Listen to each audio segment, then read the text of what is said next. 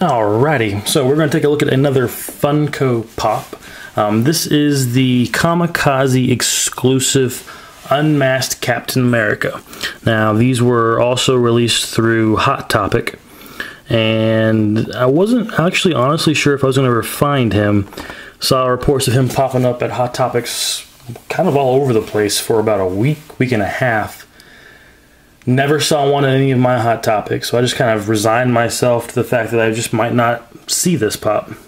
And then I wasn't even looking for him stopped by my local Hot Topic and they had three of them.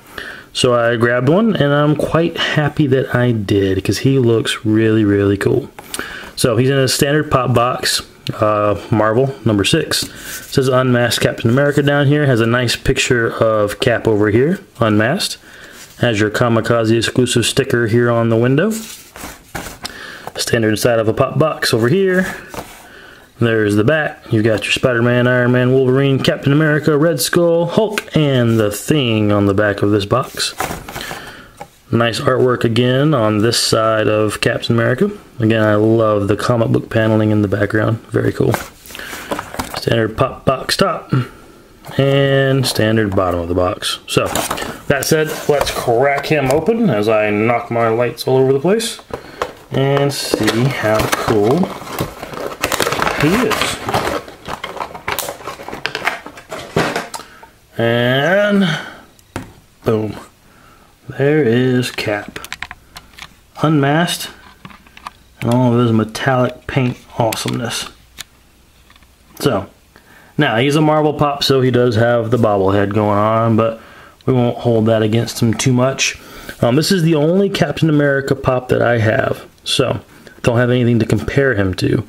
But the paint job on him is fantastic. Love that metallic blue and red on his outfit and on his shield. It just looks awesome.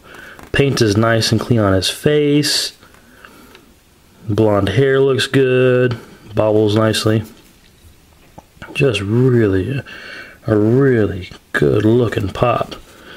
Turn around the back. I have I appear to have zero paint issues with this pop. There were three of them, and I got the one that I thought looked the best of the three. And I think I did a pretty good job. I know at least one had a paint problem. This one, though. The reds look nice, the blue looks good, the white looks nice and clean. Shield looks good, head and face look nice. Just a very, very good looking pop.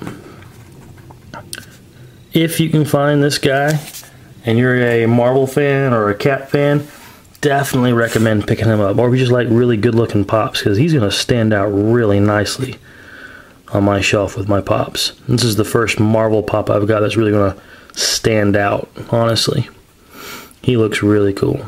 Totally recommend picking him up. I don't know how easy he'll still be able still be to find at Hot Topics. May not be quite so easy. I may have to resort to eBay or something like that to pick him up. I'm not sure what he's going for on eBay, honestly. But very cool.